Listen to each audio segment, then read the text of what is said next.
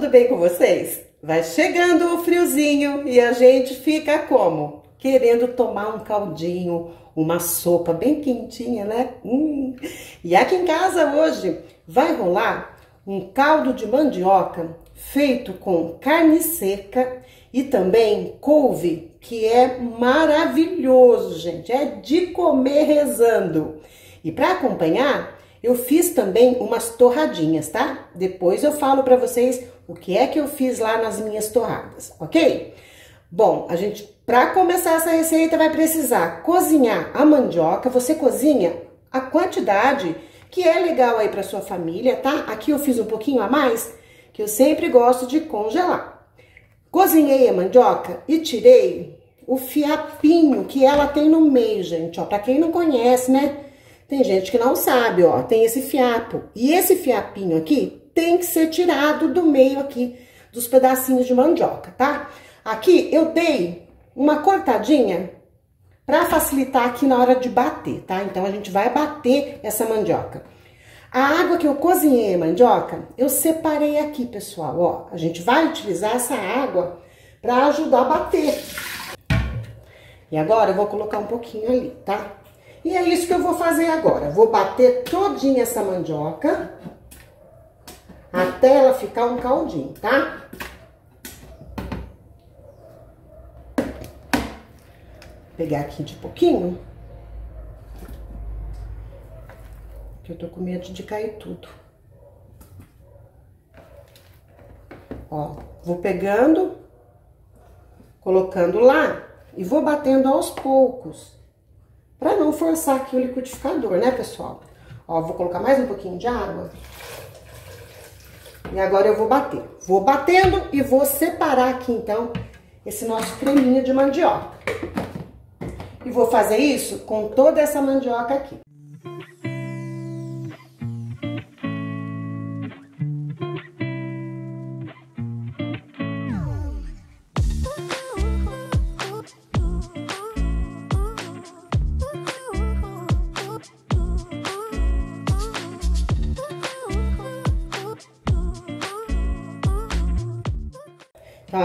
Vou colocar numa outra vasilha pra gente poder, então, bater esse outro cantinho aqui.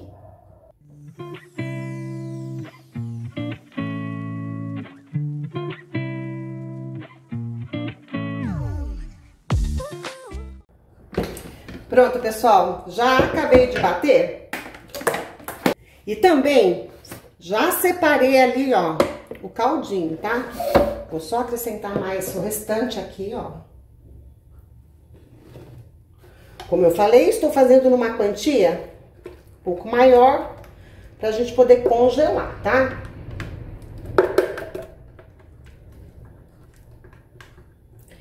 E agora, esse caldo, você vai deixar ele na espessura que você mais gostar, tá? Mais grossinho, mais ralinho, isso é muito a gosto. Agora, então, eu já vou colocar os outros ingredientes aqui. Pronto, já separei aqui os outros ingredientes. Aqui eu tenho 400 gramas de carne seca que eu cozinhei e desfiei ela, ó, bem pequenininha. Então, ela já tá cozida e dessalgada também, tá? Aqui eu tenho uma cebola grande e tenho alho batidinho, que é o que a gente vai precisar para fazer o tempero aqui. Vou utilizar também o meu sal temperado em forma de sal mesmo, tá, gente? Não como tempero, ok? Fica uma delícia. Eu vou utilizar o sal temperado de feijão, que tem bacon aqui no meio. Então, é maravilhoso. Vamos precisar também de um maço de couve, que, lógico, eu higienizei e cortei ela assim, ó. Bem fininha, tá? Eu gosto que fique bem fininha. Coloquei ali também uma jarra com água fervente. Se precisar dar uma afinadinha aqui nesse caldo, aí eu coloco um pouquinho mais de água, tá? Coloquei aqui uma colher de banha que a gente vai fritar, então, os temperos. Estou colocando aqui mais ou menos umas duas colheres de sopa bem cheia de alho. Mas lembrando que os temperinhos são sempre a gosto de vocês, tá? Agora a gente vai deixar dourar o alho.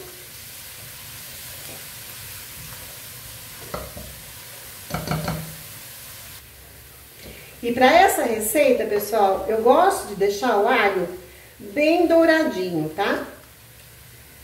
Porque eu acho que ele fica com um gostinho mais gostoso aqui nesse nosso caldo.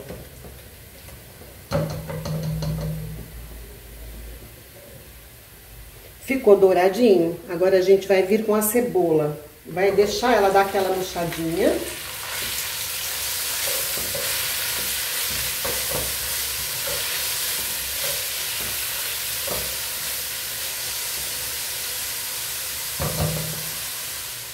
E agora então a gente já vai vir com a couve e vamos deixar essa couve dar uma refogadinha.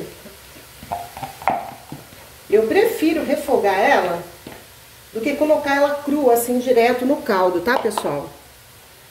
Mas façam aí do jeito que vocês mais gostam, tá?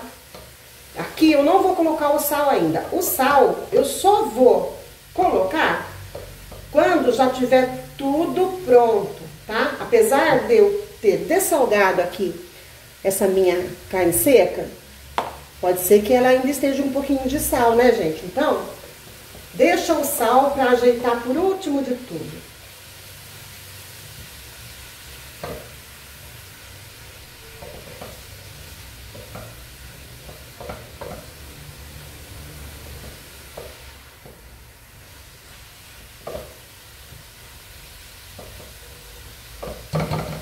Aqui também, depois que estiver tudo pronto, a gente vai colocar um pouquinho de cheiro verde.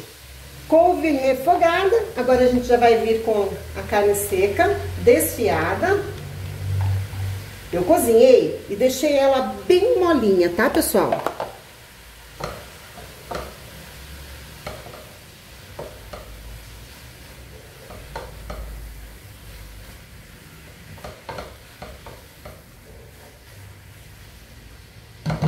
E agora então a gente vai vir com o nosso creminho de mandioca.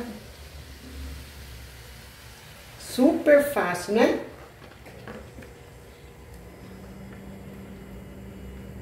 Esse caldinho fica maravilhoso, viu, gente? Pronto. E agora, pessoal, aqui a gente vai ver o tanto que quer que ela fique grossinha ou mais ralinha, tá? Como eu falei, eu tenho aqui uma água fervente, que eu já vou colocar um pouquinho aqui, ó.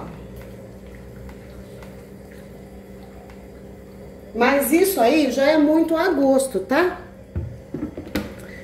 Vai fazendo aí mais ou menos do seu jeitinho. Agora aqui eu vou misturar Vou deixar dar uma ferventadinha aqui, para depois experimentar como é que está de sal. Aí sim, a gente vai acertar o sal aqui. Como eu falei, eu vou utilizar o meu sal temperado.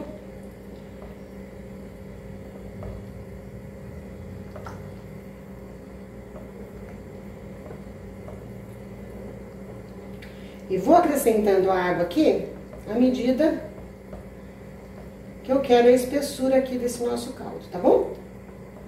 Eu não gosto muito ralinho, mas também nem muito grossão. Vou colocar mais um pouquinho de água.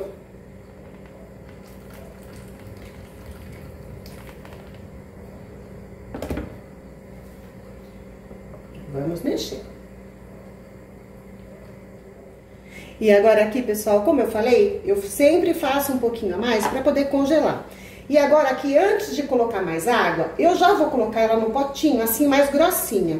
Porque quando eu tirar do meu congelador, com certeza eu vou precisar colocar um pouquinho de água aqui, tá? Então, eu não ajustei nem o sal e nem coloquei mais água, tá? Ó. Eu coloco assim nos potinhos e congelo. E fica maravilhosa, viu? Eu sempre faço isso aqui em casa, ó. Já que eu vou ter o trabalhinho de fazer, eu já faço uma quantia a mais para poder congelar.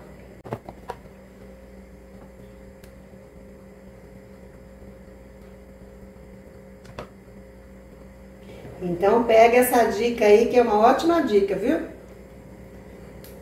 Para facilitar a vida da gente, né? E agora, com o friozinho entrando aí, gente, nossa, tá quente.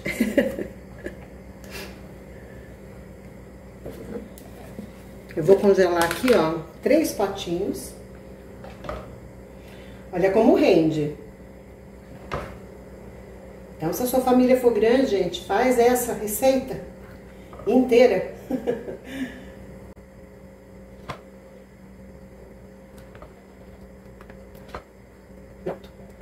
Então, renderam três potinhos pra gente poder congelar. Agora aqui eu vou acrescentar mais um pouquinho de água, porque eu quero ela um pouquinho mais ralinha.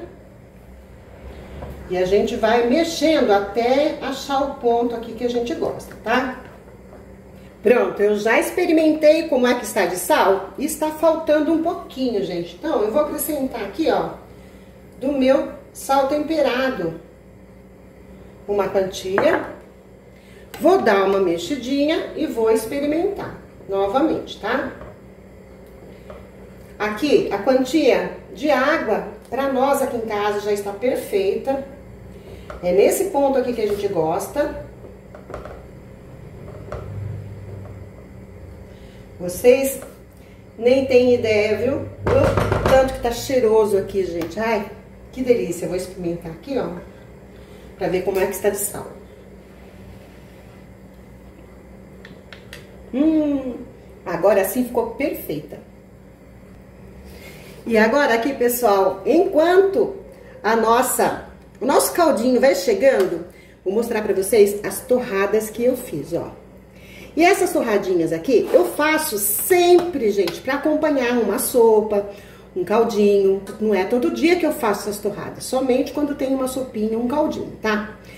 E essas torradinhas é o pãozinho francês que a gente coloca, né? Corta assim em rodelinha. Coloco um pouquinho de azeite, um pouquinho de orégano e também aquele saquinho de sazon de salada. Eu sei que tem muita gente que não gosta desse tipo de tempero. Eu também não gosto quando uso é direto. Mas de vez em quando a gente usa aqui em casa assim, tá? Então, ó, fiz essas torradinhas e olha só como elas ficam bem temperadinha. Uma delícia, gente. Fica parecendo até um salgadinho. Sério mesmo. Então, as minhas torradinhas já estão prontas. O meu caldo já está quase pronto também. Já já eu volto com vocês. E eu acabei de colocar aqui esse nosso caldinho delicioso, gente, na cumbuquinha. E é assim que eu costumo servir aqui em casa, tá? Numa cumbuquinha, coloco um queijinho ralado.